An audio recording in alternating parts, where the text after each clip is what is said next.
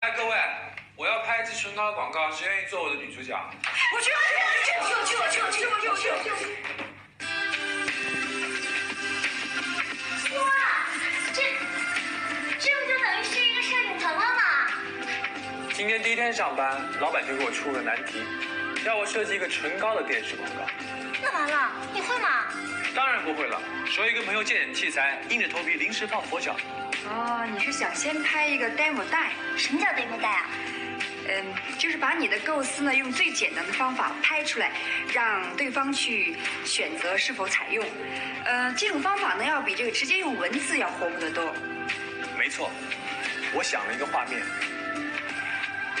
在一个充满狂野的气氛当中，出现了一个红唇，那唇部的动作好像是爱神的索吻，充满诱惑，性感而高贵。然后出现了一个男人低沉而带有磁性的声音，说着：“好想轻轻的咬一口。”所以我需要一个世界上最完美的嘴唇做我的模特。哎，我，